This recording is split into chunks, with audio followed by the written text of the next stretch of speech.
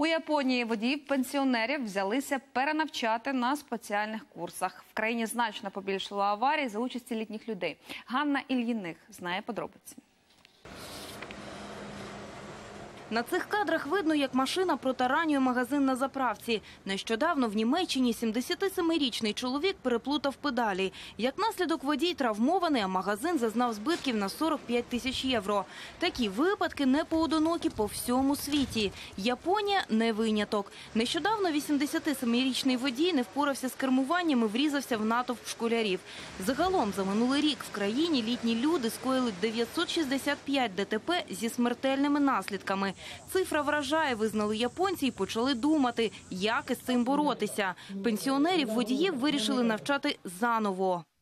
Важливо навчати літніх водіїв саме за кермом, щоб вони бачили й усвідомлювали свої недоліки. 73-річна Еміко Такаші – одна з таких учениць. Вона каже, що чим старшою стає, тим більше уже сама собі не довіряє за кермом. Але машина їй конче необхідна для того, щоб возити свого хворого чоловіка до лікарні щодня.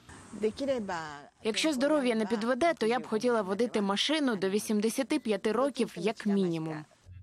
Теоретичні знання, практичні заняття, а ще психологічна підготовка. Як швидко зорієнтуватися на місці в літньому віці, коли реакція вже не та. Усе це, а також щоденні фізичні вправи мають допомогти пенсіонерам бути вправними водіями попри поважний вік.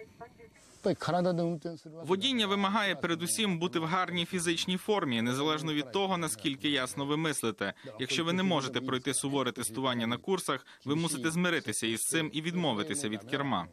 Переплутати педалі або втратити контроль кермування – найпоширеніші причини ДТП за участі пенсіонерів у Японії. А ще велика помилка таких водіїв – думати, що вони здатні як замолоду швидко реагувати в екстремальних умовах, кажуть інструктори. Та сумна статистика свідчить протилежне. Отож у Японії вже півроку, як вирішили усіх водіїв віком 75+, відправляти на обов'язкові курси з водіння. Успішні учні кермуватимуть і далі. Ну а тим, хто провалить іспити, на дорогу зась. Ганна Ільїних, новини, телеканал Інтер.